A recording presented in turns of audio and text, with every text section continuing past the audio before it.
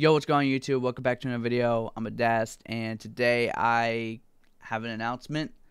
Uh, this is not really a good announcement, but uh, unfortunately, I have to quit YouTube.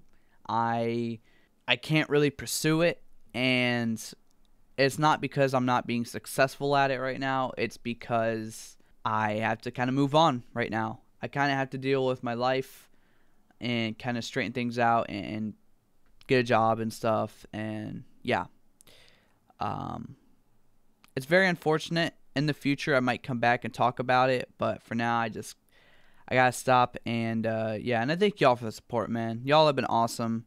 So yeah, um, that's all really. That's that's really all I had to say. I'm sorry this is kind of like out of nowhere, but it just it does suck. It does suck. But peace.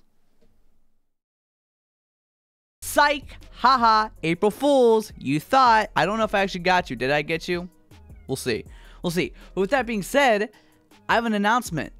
Friday, April 5th, I have a SpongeBob rap song coming out. It comes with a lyric video and everything. It's called Trippin', and I'm very excited for y'all to hear it. It's very, it's pretty good. It's pretty good. I wouldn't say it's like the best so rap song out there. Like it would definitely never beat Glorb, but I'd say it's it's it's high up, man. It's pretty good. So I had to bait y'all in with that with the little mop mobby like mopey story. I needed to get y'all's attention real quick.